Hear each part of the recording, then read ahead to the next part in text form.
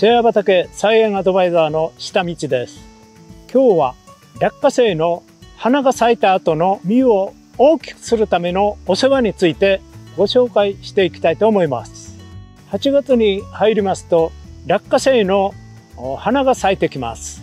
この花が咲く時期というのは落花生を栽培するに非常に重要な時期です。花が咲いてからの栽培の方が非常に重要なポイントが多く、ここでの良し悪しというのが収穫にも影響をしてきます。今日は落花生の栽培のポイントについてご紹介したいと思います。では行ってみましょう。では落花生のお花から見ていきましょう。この黄色く咲いているのが落花生の花です。落花生の花が咲き出すと脂肪兵というのがこの花の付け根から出てきます。ちょっと下を見てみましょう。このように脂肪兵というツタみたいなものが出てきます。これが土に潜っていくということです。そこにこのように落花生が先っこにつきます。こちらを見てみると、もう落花生っぽいものが何個かできております。脂肪兵というのはどういうものかを簡単に説明します。脂肪兵というのはしぼんだ花から出てくる根みたいなものです。先端が尖っており、土の中に潜り込んでいきます。この先端にやがて膨らみができて落花生ができてきます。ということでちょっと重要なポイントとして脂肪兵が土の中にしっかりと潜り込めるような環境を作ってやることが重要です。その点についてやっていきたいと思います。それでは一つ目のお世話です。水やりです。花が咲いた頃から水切れが起きますとなかなか脂肪兵が太くならず鞘も大きくならないので夏場に水が切れないようにお世話が必要です。特に雨などが少ないようであればたっぷりとお水をあげるようにしてください。本日はゲリラ豪雨が降ったのでこのように地面がしっかりと湿っておりますが乾燥状態が続く場合は水を与えるようにしてください。2つ目です。マルチや藁を除去して土寄せを行いましょう。マルチや藁を害虫対策に張ってる方もいらっしゃると思いますがそのままですとやはり脂肪兵が潜り込むのが難しくなりますので外した方がいいと思います。特に37度などの高温時に脂肪兵がマルチに付着すると下手すると焼けてしまう可能性があります。マルチなどは除去した方が安全かもしれません。あまり藁などを分厚く置きますと中になかなか入っていきづらくなりますのでこの辺も調整してあげてください。続いてが土寄せです。脂肪兵が潜り込んできたら土寄せをして少し脂肪兵を埋めてやるような手立てをしてみてください。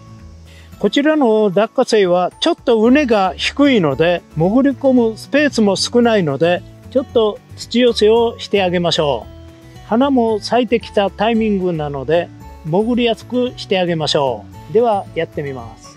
土をこのように株元にまたは畝の中央部分もなかなか土がないので思い切って茎が埋まるぐらいの感じで土寄せをしてみてください。畝の表面が硬い場合は中高などをしてあげてちょっと柔らかくしておきましょう。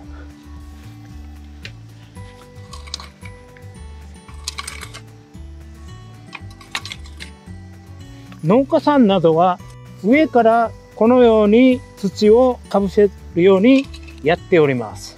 そういう方もいらっしゃいます。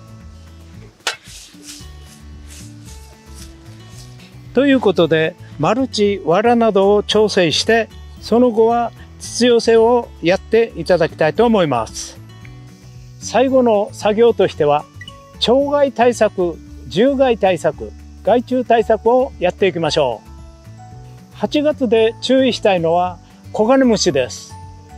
コガネムシは葉を食害するだけではなく卵を畝に産卵するとコガネムシの幼虫が落花生を食害してしまいます。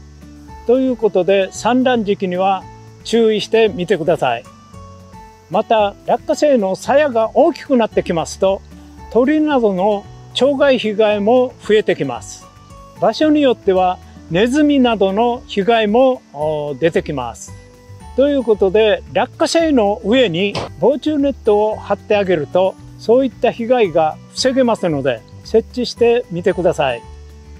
いずれにしても収穫間際になったらそういうものを貼ってみてください。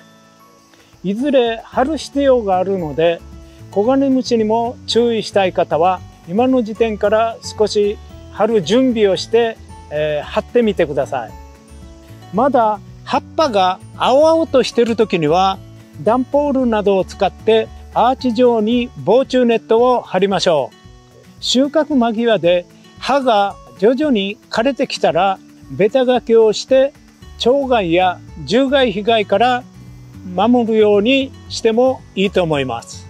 やってみてください。ということで最後のまとめです。花が咲いたら必ず水やりは忘れないようにしてください。水切れしないような管理が必要です。2つ目が藁やマルチを敷いている方は脂肪兵が潜りやすいようにしてあげましょう。3つ目が同じく脂肪兵が潜りやすいように土寄せをしてあげましょう。最後が防虫ネットで害虫や獣害鳥害からの被害を守るようにしてください。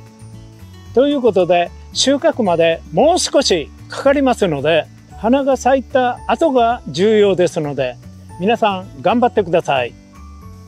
今回は落花生が花が咲いた後のお世話についてご案内しました。